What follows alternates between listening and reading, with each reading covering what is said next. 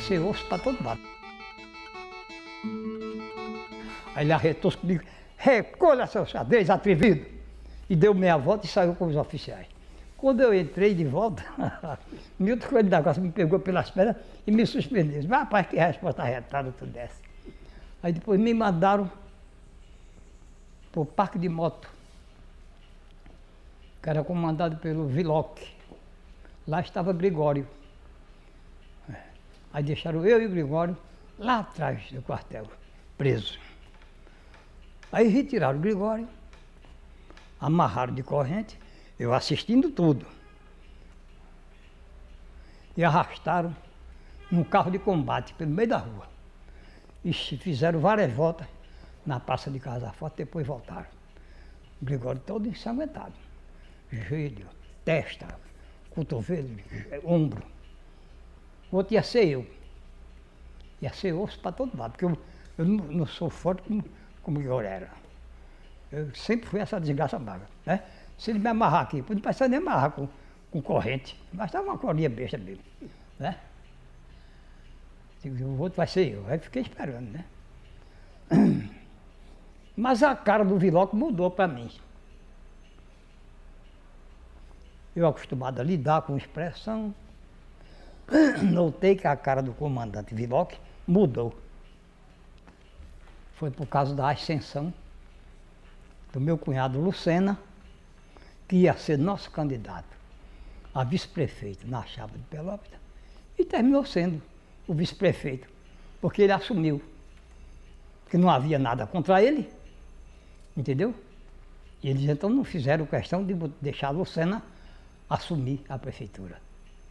E é por isso que eu estou vivo. Porque eles mataram todos os companheiros da direção, que estavam no mesmo escalão que eu estava, mataram todos eles. Eu era, o secretário político era Davi Capistrano. Eu era secretário de agitação e propaganda, vê mesmo. Eu era o cão. Agora sim, meu filho. Agora você acertou. E é por isso que eu estou vivo aqui falando com você. Por ter sido exatamente casado, por ser casado há 60 anos, porque ela caiu na besteira de visitar a minha exposição em 48. Ela era da turma de concluintes da Faculdade de Direito, quando o professor Amaro Quintas levou ela para ver a minha exposição de esculturas. Então ela começou a apreciar aquelas esculturas todas e começou a conversar comigo, se interessar. Aí eu convidei ela para ver uma escultura que eu estava terminando na minha casa. Quando eu cheguei com ela na minha casa, a minha mãe disse, ah, agora sim, meu filho, agora você acertou. Essa sim é que é a moça que você deve namorar e casar.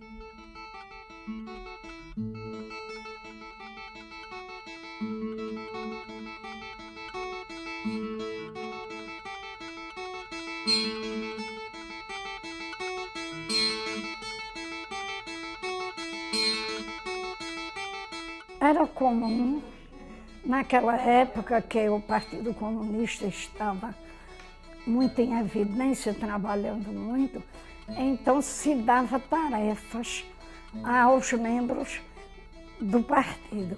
E Abelardo, ele sempre recebia muitas tarefas que às vezes até eu ficava muito preocupada, mas sempre, depois, em algumas dessas tarefas, ele foi preso, nem voltou para casa.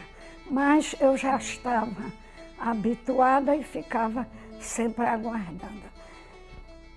E, então, uma noite eu estava sem conseguir dormir, esperando a volta de Abelardo. Então, eu pensei, disse, vou escrever alguma coisa que eu me sinto melhor.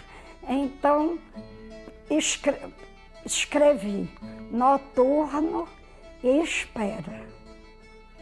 Da angústia, a labareda se levanta e abre vertical o seu caminho. Depois do apocalipse entre cinzas, adormece sem tocar o amanhecer. Fugidos da mente, voam pássaros que no quarto flutuam a noite inteira. aquarelas nas paredes se levantam e logo se apagam no meu sonho.